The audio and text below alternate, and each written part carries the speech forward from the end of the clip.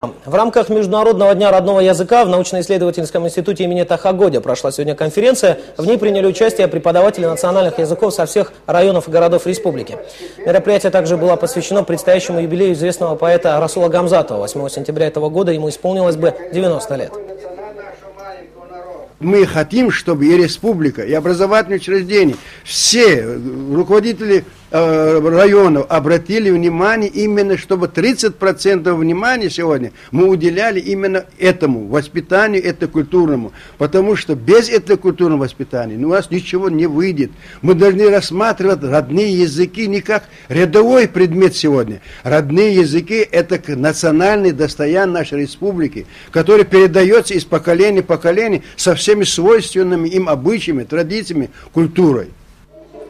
Отмечают праздник родного языка и те, кто его сегодня изучает в школе. В столице в эти минуты проходит третий республиканский конкурс на лучшего чтеца произведений дагестанских авторов среди старшеклассников. Основная цель мероприятия – выявить и поддержать одаренных детей, а также привить любовь к чтению литературы на родных языках.